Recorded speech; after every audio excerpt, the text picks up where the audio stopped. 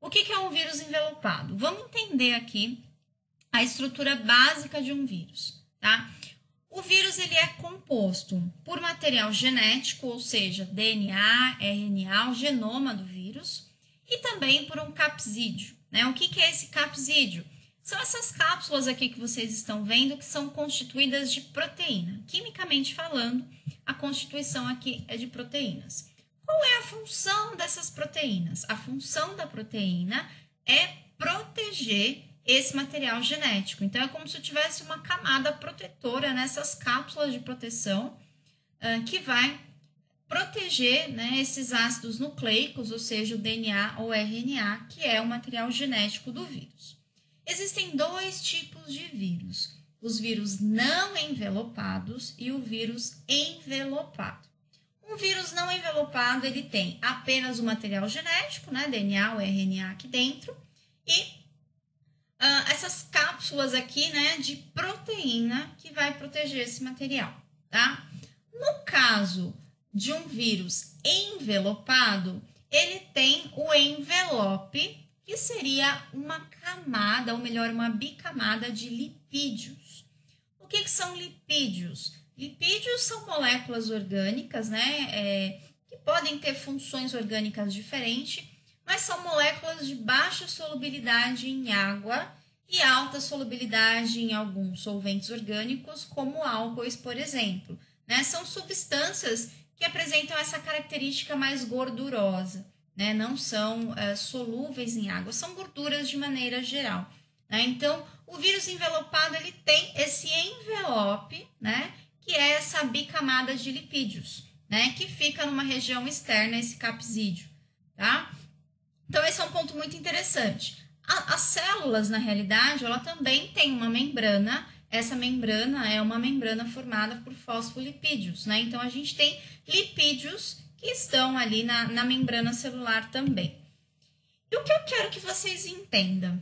Se vocês observarem, basicamente, a ação do etanol em relação a esses vírus e bactéria está relacionado com interações intermoleculares. Esse é o ponto esse é o ponto chave aqui para vocês. Lembrando que o coronavírus ele é classificado como um vírus envelopado. Por isso, né, uh, que uh, o álcool em gel ele é recomendado em relação à asepsia, né, para o coronavírus. Aqui eu coloquei a estrutura do etanol, tá, representando um álcool, mas poderia ser o álcool isopropílico também, apenas para que vocês entendam.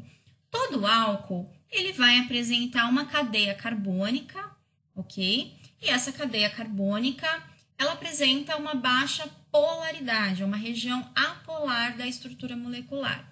E essa região apolar, ela é, é solúvel, né? ela interage com uh, moléculas orgânicas de maneira geral, né? substâncias apolares como gorduras, por exemplo. E esse, esse grupo OH aqui, ele já é um grupo polar, né? que permite com que o álcool realize interações de hidrogênio. O que são interações de hidrogênio? São forças intermoleculares que são decorrentes né, da presença de um átomo de hidrogênio ligado a um elemento muito eletronegativo, como oxigênio, flúor e nitrogênio, tá? E essa alta diferença de eletronegatividade faz com que exista uma carga parcial positiva onde está o hidrogênio, e uma carga parcial negativa, onde está localizado o oxigênio.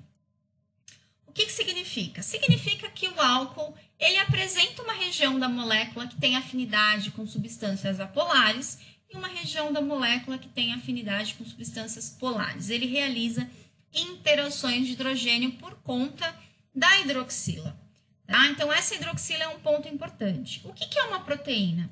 A proteína, na realidade, ela é formada pela combinação de aminoácidos. Um aminoácido, ele apresenta um grupo amina numa extremidade e um grupo ácido carboxílico na outra extremidade. A combinação de dois aminoácidos, né, a reação entre dois aminoácidos, leva à liberação de uma molécula de água e à formação de uma ligação peptídica. Essa ligação peptídica, né, a presença de várias dessas ligações, vão formando macromoléculas que vão dar origem às proteínas. Então, a proteína ela apresenta né, uma infinidade de ligações peptídicas formada pela combinação de vários desses aminoácidos. E o que eu gostaria que vocês observassem é que as proteínas também podem realizar interações de hidrogênio. Por quê? Porque as proteínas também apresentam, ó, se vocês observarem, eu tenho grupos polares. Nitrogênio ligado ao hidrogênio possibilita a, a realização de interação de hidrogênio. Eu tenho uma dupla O aqui, que também é né, uma região polar da molécula. Eu tenho átomos, uh, que são aqueles átomos mais localizados no lado direito superior da tabela periódica, que são os elementos mais eletronegativos. Então, a presença desses elementos vai fazer com que as proteínas também realizem ligações de hidrogênio com moléculas como o etanol, por exemplo. Tá? Então, aqui é um ponto bastante interessante de nós observarmos, tá? Além disso, nós temos os lipídios também, tá? Então, os lipídios são solúveis em, em, em etanol também, tá? Então, os álcools, eles podem realizar essas ligações de hidrogênio. Então, basicamente, tudo que a gente vai falar agora está fundamentado na ocorrência de ligações de hidrogênio. Então, por que, que o álcool ele pode ser utilizado no controle né, de, de infecções? Porque ele vai promover a desnaturação das proteínas e a remoção dos lipídios, que, que é o que compõe aquele envelope do vírus. E por que, que esse, isso acontece, né?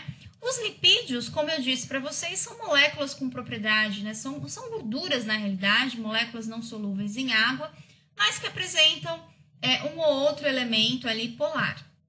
Tá? Então, esses lipídios, eles podem, né? Alguns lipídios apresentam oxigênio, são ésteres, enfim. A gente tem os fosfolipídios, eles são solúveis em, em etanol, né? Por conta de interações intermoleculares. E as proteínas, elas também podem interagir com o etanol. Eu já vou explicar o que, que vem a ser essa desnaturação das proteínas. Está relacionado com uma maneira como as proteínas estão acomodadas e por conta das interações, essas proteínas vão passar a se acomodar de outra maneira. Eu já vou mostrar aqui para vocês. Mas só para que vocês entendam aqui, o etanol puro, ele é muito volátil, ou seja, ele evapora com muita facilidade. Então, se nós formos utilizar o etanol puro para fazer asepsia, por exemplo, a gente acaba perdendo muito material por conta disso. E por que, que ele é volátil? Porque ele apresenta uma cadeia carbônica, né? Eu tenho uma hidroxila só. No caso da água, por exemplo, nas duas extremidades da água é possível a interação, a realização das ligações de hidrogênio. Então, a água acaba tendo né, um ponto de ebulição sendo muito menos volátil do que o etanol. O que, que acontece? Quando eu misturo o etanol com a água, tá legal? Eu diminuo a volatilidade, porque agora eu tenho uma molécula mais polar presente no meio, as interações intermoleculares passam a ser uh, mais, uh, digamos assim, mais fortes, e isso dificulta com que o álcool se desprenda para a fase vapor. Aqui eu coloquei a representação do, do da interação do metanol, por exemplo, mas é só para ilustrar a ligação de, de, hidrogênio, poderia ser qualquer álcool, tá? Então, a ideia é, de nós dissolvermos em água é de diminuir a volatilidade, tá? Caso contrário, a gente vai perder muito material, né, pelo fato dele ser volátil. Então, adicionando água, que é um solvente mais polar, que realiza, pode realizar, né, é, tem, nas suas duas extremidades aqui da molécula realiza interações de hidrogênio, ele mantém né, é, o etanol. As interações intermoleculares são mais fortes quando eu tenho água misturada com etanol do que em etanol puro. E isso dificulta a volatilização do etanol, tá? Uh, um, digamos assim, um dos inconvenientes da gente utilizar o álcool em gel, né, é a questão do ressecamento da pele. Por que que isso acontece? Da mesma maneira como ele remove esses lipídios, né, de proteína, de, do, do vírus propriamente dito, ele também pode fazer isso com a própria célula da, da, da, nossa mão, da nossa pele, que também, né, contém uma camada de fosfolipídios, por exemplo, tá?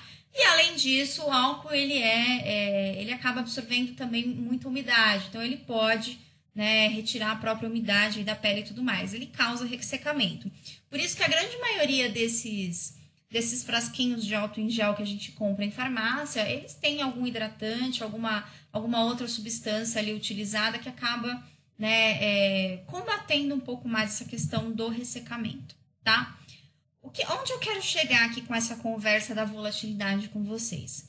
A atividade germicida máxima, ela é atingida quando a gente tem essa concentração de 70%. Por quê? Se eu tiver o álcool acima dessa concentração, ele passa a ficar muito volátil. E aí eu perco totalmente essa ação, tá? Porque o material vai passando para a fase vapor e eu vou perdendo o material. Então, essa concentração de 70%, geralmente nos frascos, é, a gente observa 70, 70 graus e NPM, tá? Isso significa que é porcentagem em peso. O que, que é a porcentagem em peso? Né? Se eu tenho um álcool 70%, significa que se eu tiver, por exemplo, 100 gramas desse álcool, eu tenho né, é, basicamente 70 gramas é, de etanol, né? O restante é água ou outros aditivos ali que é utilizado, tá? No caso dessa outra unidade aqui, que é o, a unidade GL, né? É a porcentagem em volume, tá? Então, por exemplo, se você tem é, um álcool 96, é, ou melhor, você tem um álcool 90 é, GL, por exemplo, Gauss GL. Isso significa que você vai ter, se você tiver, por exemplo, 100 ml, desses 100 ml, 90 é de etanol. Então, aqui é em volume. Né? Geralmente, bebidas vêm como GL, tá? Mas só para que vocês entendam, essa concentração de 70% é a concentração né, atividade máxima em relação a essa ação germicida. Abaixo disso, eu acabo tendo muito pouco etanol, né, e, e essa propriedade, né, ele acaba ficando muito diluído e eu não tenho uma ação germicida tão significativa. E se ele tiver muito concentrado, ele passa a ser muito volátil, eu perco material. Então, a concentração ideal aí, né, é, verificado aí por estudos, é esse 70% em peso, né? 70% os grau e NPM. Esse seria o ideal para a gente tentar é, balancear essa questão da volatilidade, né, com a adição de água, mas também de não deixar a, a solução tão diluída. Então, por isso precisa ser 70%. Como eu disse para vocês, o álcool ele promove a remoção dos lipídios, então por interações intermoleculares ele acaba removendo essa camada de lipídios, né? Ou seja, ele vai interagir ali com, com aquele envelope, né, com aquela proteção ali. E também a desnaturação de proteínas. O que é a desnaturação de proteína? Proteínas são moléculas muito grandes e muitas vezes elas ficam todas ali enroladas, né? É, aqui a gente tem um exemplo, né, de uma proteína, né, que tá aqui na, no seu grau de naturação. Aqui a gente tem aqui toda enroladinha? E o que, que eu gostaria de voltar aqui para vocês entenderem? A proteína, ela faz a proteção do material genético aqui. Então, se vocês observarem, né, ó, a gente tem é, esses, essas cápsulas totalmente constituídas de proteína, então tá toda enrolada e o material genético tá, tá lá dentro, protegido por essas proteínas, né? Então, é como se a gente tivesse esse nó aqui que, que acontece? O etanol, o que, que ele vai fazer? Ele vai interagir com grupos polares que nós temos na proteína, como eu mostrei aqui para vocês. A proteína ela tem a ligação peptídica, então ela apresenta né, é, um grupo, um, uma ligação NH, ela apresenta dupla O, ela apresenta átomos eletronegativos na estrutura. E esses átomos mais eletronegativos, eles realizam ligação de hidrogênio com etanol. E aí o que acontece? O etanol começa a atrair esses grupos presentes na proteína e essa estrutura toda enrolada começa né, a formar basicamente né, como se eu tivesse a proteína toda esticada, que é o que nós chamamos de desnaturação das proteínas. Então, o etanol ele vai quebrar toda essa estrutura, né? Quando eu falo quebrar, não é no sentido de destruir a, a molécula, isso não. Mas ele vai fazer com que ela tenha uma organização, uma orientação diferente por conta da realização de interações intermoleculares. Isso também pode acontecer com o uso de sabões e detergentes, tá? Então, uh, moléculas com propriedade tensoativas, né? Se vocês quiserem saber um pouco mais sobre os tensoativos, tem um, um vídeo específico de, de, de, tensoativos no canal. Então, por isso que o sabão também acaba né, é, tendo essa ação de asepsia, tá? Então, uh, essa é a questão que eu gostaria que vocês aqui entendessem, né? A gente considera hoje, se vocês forem observar aí, né, em diversas em diversos meios de comunicação falando muito sobre o álcool 70, então, ele é considerado, na realidade, é, indicado aí em relação ao coronavírus por conta do, do coronavírus ser considerado um vírus envelopado, tá? Por isso que recomenda-se a utilização dele.